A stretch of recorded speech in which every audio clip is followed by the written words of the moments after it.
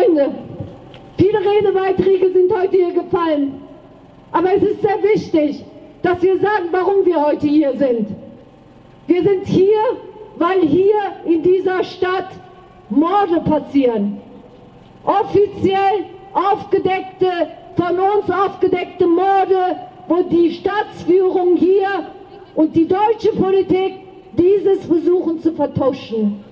Wir sind auch natürlich hier, um das Unrecht, was tagtäglich gegen Flüchtlinge, Migranten, Menschen, die von Hartz IV betroffen sind, hier anzuklagen. Aber deshalb bedeutet für uns, hier zu sein und zu sagen, es passiert was Schreckliches in eurer Stadt. Es wird getötet, gemordet, verbrannt und jeden Tag mit rassistischen Übergriffen gedroht. Uri Jallo hat seit zwölf Jahren uns das mitgeteilt, dass wir hier hinkommen und sagen, was mit ihm passiert ist. Wir im Kampf um Gerechtigkeit von Uri Jallo haben gesagt, Uri Jallo ist dreimal gestorben. Uri Jallo ist in dem Krieg für die Imperialisten, die Interesse an den Diamanten hatten, gestorben. Uri Jallo ist auf, die, auf der Flucht nach Europa gestorben. Uri Jallo ist in Dessau durch Polizeihand verbrannt und gemordet worden.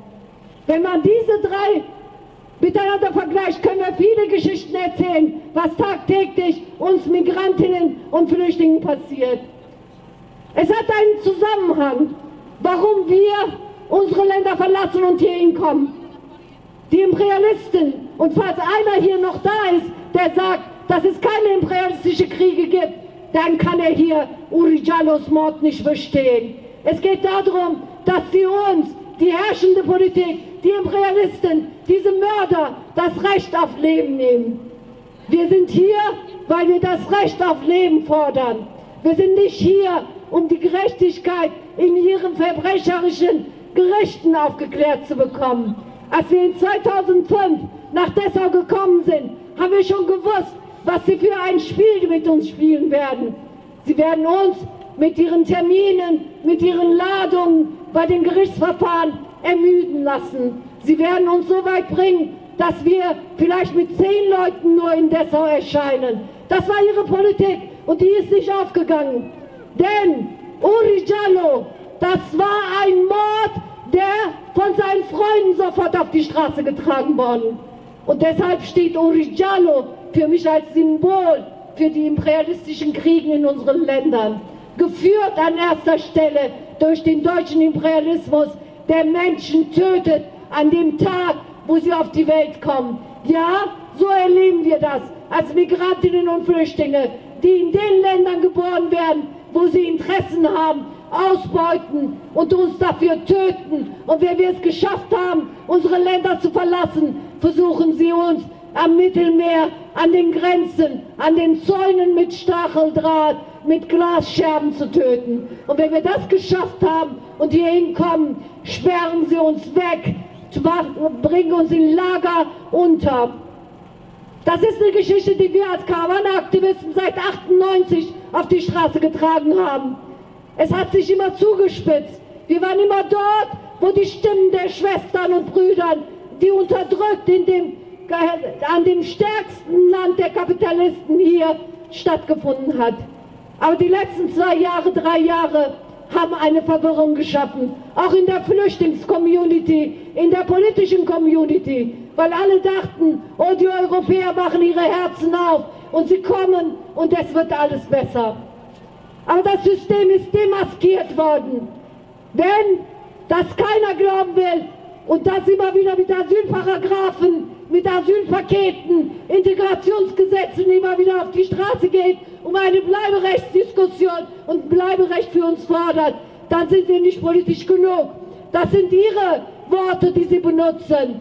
Wir, die hier heute im Gedenken an Uri Jallo sind, wir müssen unsere politische Sprache nehmen und sagen, wir sind hier, weil wir das Recht auf Leben wollen.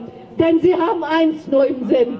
Wir, die für ihre, für ihr Interesse, für ihre Profitgier nicht dienen können, sind zu Tode verurteilt, auch hier, gerade in Dessau.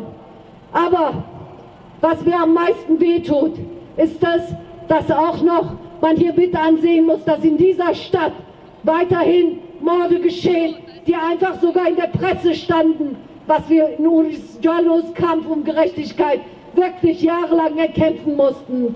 Die Schwester, die hier als Studentin hier war, ist auf brutalste Art und Weise gemordet, vergewaltigt worden.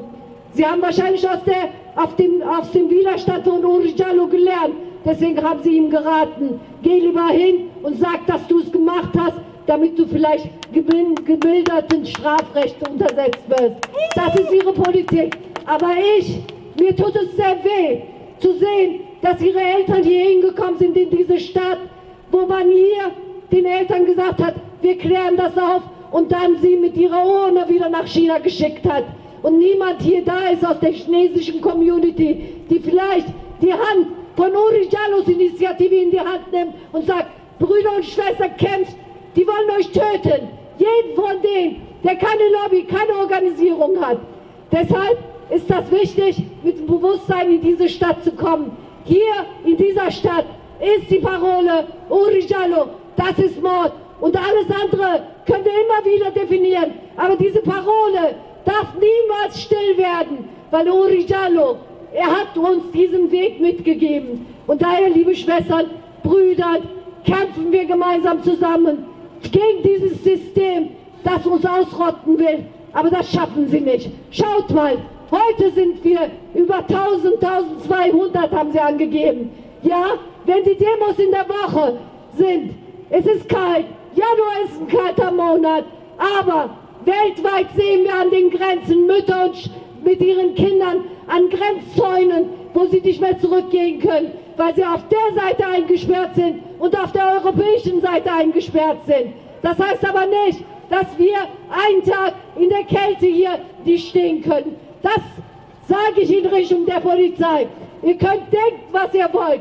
Die Stimme in Dessau, die Stimme der Unterdrückten, die Stimme der Ausgegrenzten, die Stimme der Flüchtlingsfrauen und Männer wird niemals stumm werden. Ich danke euch.